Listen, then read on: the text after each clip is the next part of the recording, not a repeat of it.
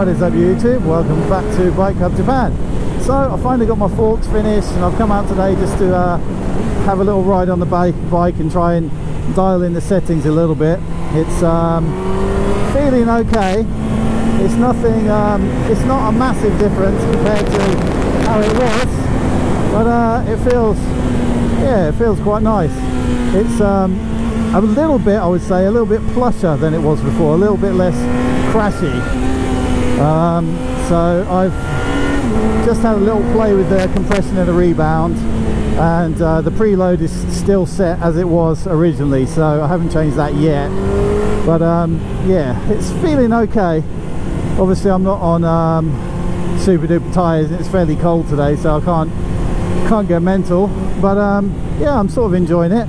So I'm going to stop at the um, next convenience store and just give it a little bit more uh, compression.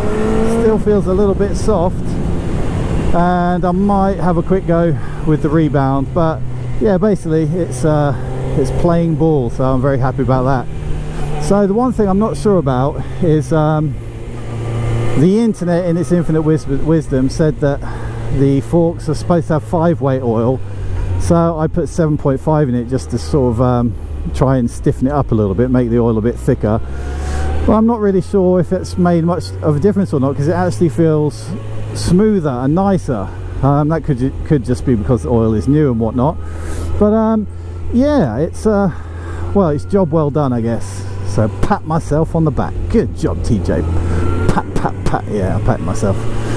Um, yeah so the other reason that I made this quick quick update video today is although in the part one video I said this is part one so tune in next time for part two the actual assembly process was a major freaking pain in the ass and it took all sorts of really stupid bodges like in the end me and my mate had to buy some wire from the home centre wrap it around the nut that holds the damper rod to the top cap feed that up through the spring spacer then compress the spring and then figure out a way to pull on that wire to pull it up at the same time as compressing the spring.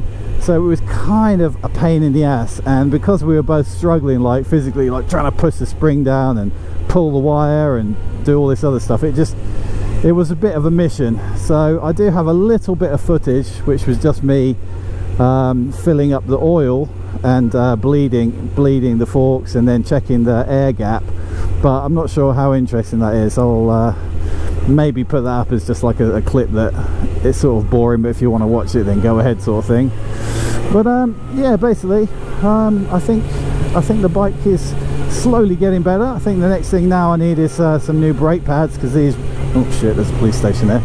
Uh, the brake pads are kind of fucked on this so uh, I need some new pads. Really ideally I need some new discs as well.